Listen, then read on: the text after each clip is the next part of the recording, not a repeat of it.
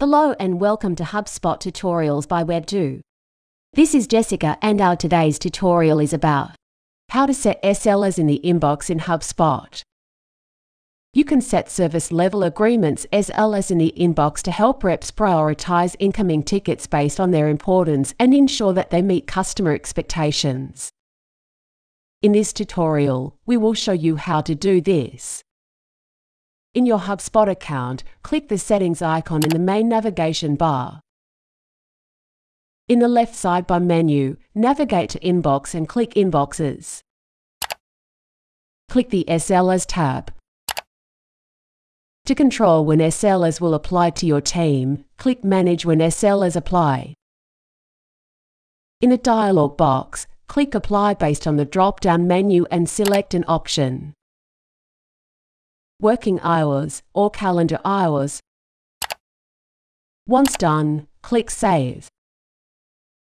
To set an SLA based on the time it takes a user to send a first reply to a message, click to toggle the time to first reply switch on.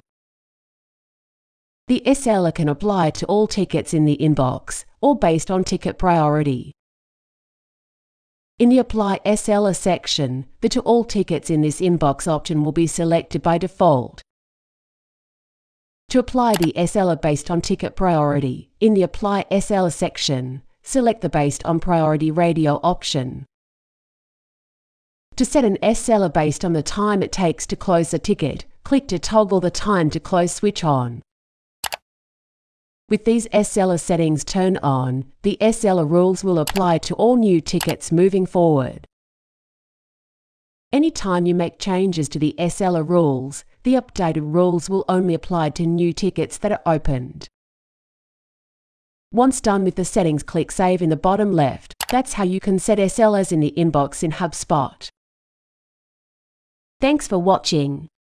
Feel free to ask any question in the comments section and we will be happy to answer. If you like the video, give us a thumbs up and press the bell icon to subscribe to our channel. To know about our HubSpot services, visit us on www.webdew.com.